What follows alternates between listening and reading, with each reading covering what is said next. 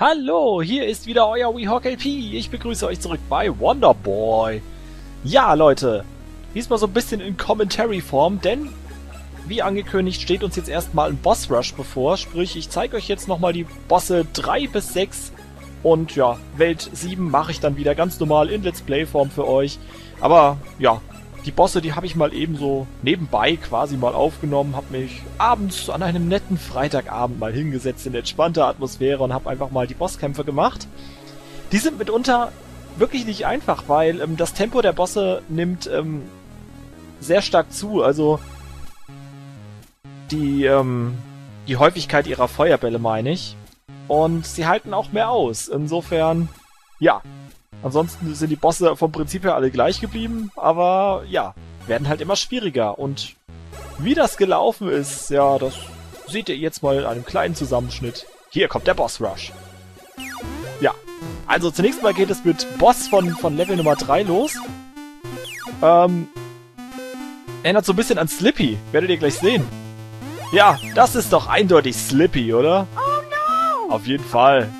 Oh no! Fox, help me! Oh nein! So ein komischer blonder Junge will mich einfach fertig machen. Slippy. Halt die Klappe. So, der ist noch relativ langsam. Wirft alle paar Sekunden mal einen Feuerball. Ihr habt also alle Zeit der Welt, um seinen Kopf zu treffen. Ihr müsst auch wirklich mittlerweile gelernt haben, wie man zielt, sonst wird es echt schwierig gegen die Bosse. Ihr könnt sie halt echt nur am Kopf treffen. Das ist halt die, die Schwierigkeit bei der ganzen Sache. Nur der Kopf ist verwundbar. Und ihr werdet übrigens, das habe ich im ersten Part gar nicht erklärt, ihr werdet gleich sehen, was passiert, wenn der Kopf äh, wegfliegt. Erkläre ich euch dann gleich nochmal. Ist gleich soweit. Ja. Und da ist es. So, habt ihr es gesehen? Er wirft den einen Kopf ab und verwandelt sich in einen anderen Kopf quasi oder setzt sich einen anderen Kopf oben drauf. Ja. Das ist also quasi immer ein und derselbe Boss, nur mit anderen Köpfen. Ihr habt also jetzt schon den Vorgänger, äh, äh, beim Vorgängerboss hier schon diesen Kopf jetzt kurz gesehen. Den Affen. Ja, und der macht bekanntlich vier Schaden, also müssen wir hier sehr vorsichtig agieren. Ja, ist nicht immer ganz so einfach. Leichter gesagt als getan. Man denkt, es läuft gut. Man denkt, man hat diesen Boss schon im Sack. Und wisst ihr, was dann passiert, Leute? Dann passiert sowas. Ja, das passiert einfach unheimlich schnell gegen diese Bosse. Aber Wonderboy gibt natürlich nicht auf, er probiert das Ganze nochmal. So ein Affe ist gefährlich. Aber doch nicht gefährlich genug. Für unseren Blondshop hier. Ja. Und so machen wir den Affen fertig. Auf alle Fälle. Bin mal gespannt, welche tierischen Formen er noch annehmen kann. Beziehungsweise ich weiß es ja. Tja, gleich war's das mit ihm. Gleich ist auch der Affe besiegt. King Kong hat keine Chance gegen Wonder Boy, den wahren King, hier in diesem Spiel. Oh ja. Sag ich ja. Und? Haha, das war's. Und habt ihr es gesehen, den Kopf? Ja, das ist nämlich unser nächster Gegner und... Mal ehrlich, Leute, wenn das nicht Falco Lombardi auch aus Star Fox ist, dann weiß ich auch nicht. Slippy und Falco hier als Bosse bei Wonderboy. Nur Slippy war noch sehr viel Interpretation, aber das hier Falco. Wie viele blaue Falken kennt ihr schon? Also wenn das nicht Falco ist, dann weiß ich auch nicht. Ja, das ist eindeutig Falco, gegen den wir hier antreten müssen. Jeez Louise! What is that? Das ist Wonderboy und er macht dich fertig. Ihr seht hier schon bei diesem Boss, langsam wird's heftiger. Also er wirft immer häufiger mit Feuerbällen. Er bewegt sich an sich auch glaube ich, ein bisschen schneller und äh, zwar immer in demselben Muster, aber trotzdem, das ist nicht einfach, wenn ihr nur relativ wenig Möglichkeiten habt. Ich habe ja diese Taktik verwendet, dass ich immer so, so vor ihm herlaufe so ein bisschen. Dann warte, bis er wieder zurückgeht und dann seinen Kopf treffe. Das war so ein bisschen meine Taktik. Ist allerdings sehr zeitaufwendig und funktioniert bei dem vorletzten und letzten Boss nicht mehr. Weil da einfach von der Zeit her ist das viel zu knapp. Da könnt ihr nicht so lange zögern, da müsst ihr auch mal ein bisschen was riskieren. Ja, und das hier ist eine nette kleine Miezekatze, die uns jetzt hier bevorsteht. Ist das nicht herrlich? Hey, Mieze! Na, alles fit? Oh Gott. Ja, wie gesagt, sowas kann schon mal passieren, wenn man sich mit einer Miezekatze anlegt. Ja, Yari darf hier als Boss natürlich auch nicht fehlen. Oh je, nee, nee. Ja. Hey, Mieze. Miezi, Miezi, Miez. Ja, komm, ab ins Körbchen. Wir zeigen's dir. Oh ja. Und gleich geht die Mieze ins Körbchen vor, wird Wonderboy nochmal ordentlich verkokelt. Ihr seht also hier an dieser Stelle habe ich dann auch schon wirklich Save States verwendet, weil das ging mir dann echt auf den Sack. da kam Tod nach Tod nach Tod. Ich habe dann irgendwann Save States verwendet, was mich genervt hat. Ja. Also, da musstet ihr echt schon... Dann müsst ihr viel riskieren bei diesem Boss. Ihr seht oben, wie, Zeit das, äh, wie knapp das von der Zeit her wird. Wie Zeit das von der knapp her wird, genau. Und ähm, ja, zum Glück haben wir es dann doch noch geschafft. Und der letzte Gegner, ihr habt es gerade gesehen, ist Benjamin Blümchen. Ja, kein Witz, Benjamin Blümchen. Aber das war's mit dem Boss Rush. Jetzt geht es mit dem eigentlichen Let's Play weiter. Welt 7. Hallo, hier ist wieder euer WeHawk LP. Ich begrüße euch im Cheat-Menü. So, bevor wir die letzte Runde angehen, die wollte ich ja euch komplett zeigen. Ja, will ich mal ins Cheat-Menü, weil ich hab's mal offscreen probiert, das ist die Hölle. Also da müsste ich selbst mit unendlich leben, müsste ich da teilweise wirklich mit Save States arbeiten, weil ihr verliert euren Hammer. Das ist das ist das Schlimmste eigentlich. Ihr verliert halt den Hammer an manchen Stellen und dann ist es unheimlich schwierig, irgendwie doch an dieser einen Stelle vorbeizukommen. Oder generell, äh, viele Stellen sind ohne den Hammer eigentlich gar nicht, oder Permanent Axe, das ist ja eine Axt. Ohne die Axt ist das gar nicht schaffbar teilweise. Deswegen habe ich jetzt hier das Cheat-Menü aktiviert. Also wir machen einfach mal Permanent X, machen wir mal Ja. Und wir starten jetzt mal von Area 7, Abschnitt 1, das konnte man hier auch einstellen. Drücken auf Space, legen mal los, ohne unendlich Leben, brauchen wir nicht. Ach was. Wir werden es noch brauchen. das kann ich jetzt schon sagen. So. Jetzt stellt euch mal diesen Abschnitt ohne Hammer vor. Was jetzt kommt. Ups. Ja gut, das war jetzt wirklich dämlich. Entschuldigt. das ist doch wieder richtig Schwierigkeit. So. Wirklich, jetzt stellt euch diese ganzen Abschnitte hier mal ohne Hammer vor. Ich seht schon, es ist mit Hammer schon schwer genug hier durchzukommen. Und...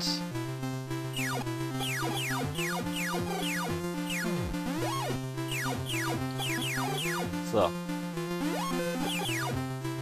Ist? Ah, in der Tat echt nicht einfach. Und es geht noch weiter. Wie gesagt, stellt euch das mal ohne Hammer vor. Das ist so übel. Ihr bekommt ihn nämlich, glaube ich, erst ab hier. Nee, scheiße. Das war auch noch ein Sensenmann. Ihr bekommt hier an dieser Stelle noch nicht mal den Hammer endlich. Das ist ja der Hammer. Ja.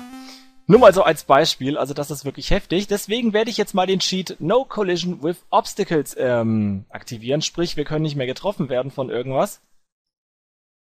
Dann klappt's nämlich auch mit dem Nachbarn. Zusätzlich werde ich noch den unendlich Leben verwenden, weil es gibt auch noch Sprungpassagen, die wollen natürlich auch übersprungen werden. Nicht, dass wir sofort wieder Game Over sind. Ja, und damit sind wir jetzt endlich ausgerüstet, die letzte Runde anzugehen. Das wird der Hammer. Boah, freue ich mich überhaupt nicht drauf. So, jetzt ist es auch egal, ob wir den Hammer permanent haben. Jetzt können wir einfach hier durchhüpfen. So. Oh Gott. Es sei denn, es geht um Zeit. Ja! Oh Gott, die Zeit. Die Zeichen der Zeit. Ich habe sie erkannt. So, oh weia, oh weia.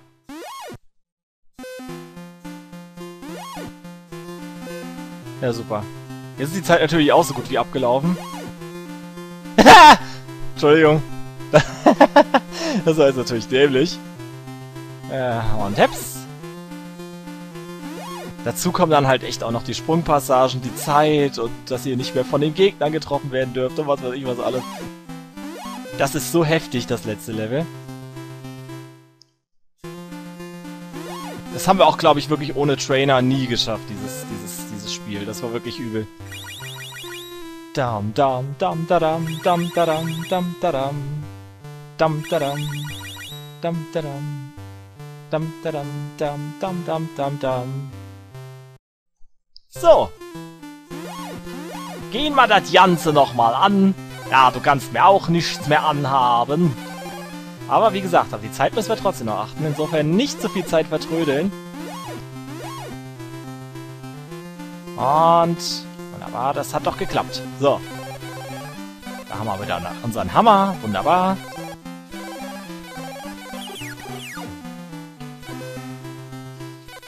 Ja. Also diese letzten Abschnitte sind böse. Ich bin froh, dass wir jetzt hier so einfach durchrennen können. Oh, Skateboard, ja natürlich. Machen wir mit dem... das war ja wohl klar, dass das nicht hinhauen würde. So.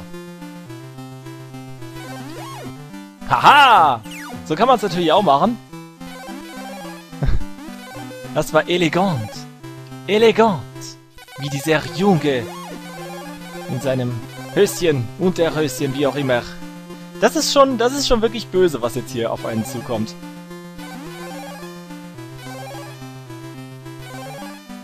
Ist wirklich nicht mehr normal. Dieses Spiel ist definitiv nichts für Pussys. ich frage mich, ob man damals mit sowas geworben hat. Wobei, Pussys, so böse Ausdrücke hat man damals noch nicht gesagt. Das ist nur unsere Generation von heute, das... Ah. So, durch das Feuer laufen. Wir gehen für dich durchs Feuer. Ach ja, ich kacke für dich ins Feuer. Auch wenn der ganze... Nein. Okay. Dam dam dam dam da da dam dam dam. Keine bösen Sachen sagen. La la la la la la la la. Wir rennen jetzt hier entlang denn wir können nicht getroffen werden. Ihr könnt mir gar nichts anhaben. Was war das für eine Scheiße? So eine blöde Sprungpassage gab es noch nie. Ah. Okay. Wow. Okay da musst du sofort wieder abspringen. Das ist böse, aber es hat beim zweiten Versuch hier geklappt. Gut. Ha! Haha! Ha. Das ist bestimmt wieder so ein Sensenmann-Typi da drin gewesen in dem Ei. Haha! Haha! Übrigens, das, was da auf dem Boden sitzt, ähm... Wow! habt ihr gerade... Das hat mich gerade abgelenkt! Habt ihr gerade, ähm diesen Glitchfrosch gesehen? Okay, ähm, das, was hier auf dem Boden sitzt, ihr seht das hier? Das sollen übrigens dieselben Fledermäuse sein wie an der Decke. Nur halt ein bisschen zusammengekugelt. Ich hätte es auch nicht erkannt, muss ich sagen, aber laut C64-Wiki ist es so. Okay. Sie sehen ja schon recht ähnlich, ja, okay, aber ich hätte trotzdem mit irgendwas anderem gerechnet. Also nicht elektrisch aufgeladene Seeigel, die äh, da sind, um äh, da zu sein. Was zum... Komm, machen wir's nochmal. So.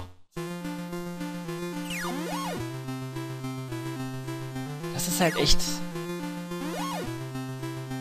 Das ist so böse.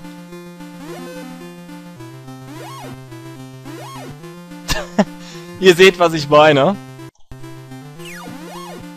Um das Ganze hier mal abzukürzen. Deswegen dann auch nochmal zusätzlich mit Safe States, weil...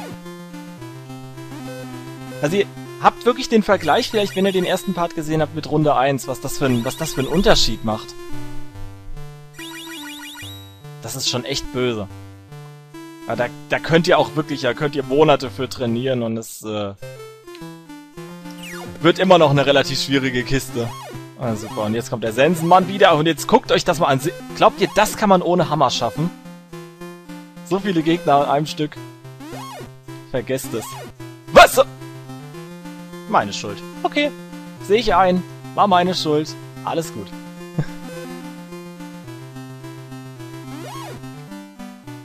So. Ich glaube...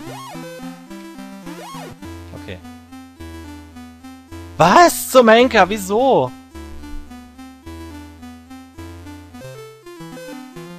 Und...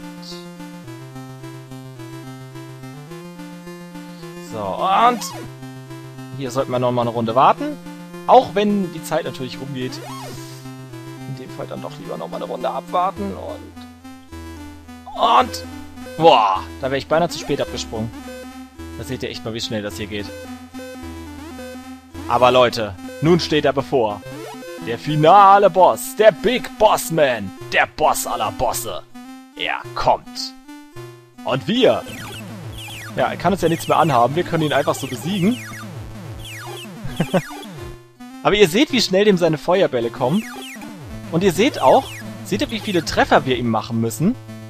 Und ihr seht auch, dass das Ganze hier um Zeit geht. Also, wie man den überhaupt schaffen soll ohne Cheats, das ist schon wirklich böse. Es ist nicht so, dass ich es nicht gesehen hätte, dass es nicht schon Leute geschafft hätten. Also, ich kann euch den, nur den Kanal von Cubex empfehlen. Der hat das hier geschafft ohne Save States. Das ist schon echt irre. Und das war unsere Freundin. Ja, das war's. Game over. Unsere Freundin. Seht euch das an. Sieht aus wie ein Alligator, oder? Und so eine haben wir gerettet. Und warum war sie hier auf einmal rothaarig? Im Bild war sie grünhaarig. Und was wir für einen unglaublichen Bonus hier gerade bekommen. So. Unfassbar. So, Leute, und dann, wenn man das dann hat, geht es wieder von vorne los. Wonderboy. Wonderboy. Boy, boy, boy, boy, boy, boy, boy, boy, Area One, Round One, ja, ja, ja, wir machen jetzt den Super Wonder Boy Song, na, na, na, na, na, na, na, na, boy, boy, boy, boy, boy, boy, boy, ma, boy, ma, boy, ma, boy, ma, boy, boy, ma, boy, ma, boy, ma, boy, oh yeah, Skateboard Action, das ist natürlich eine schöne Idee fürs, für den gelungenen Abschluss dieses Let's Plays eines wirklich schweren Spiels. Vielleicht hätte ich mir den zweiten Part doch schenken sollen, vielleicht hätte ich es beim Let's Show des ersten Teils belassen sollen. Auf der anderen Seite habt ihr so mal gesehen, yeah! was man mit einem Skateboard alles machen kann. Und ja, ich möchte mich an dieser Stelle von euch verabschieden. Das war Wonderboy. Bis zum nächsten Mal. Euer WeHawk LP. Bis dann.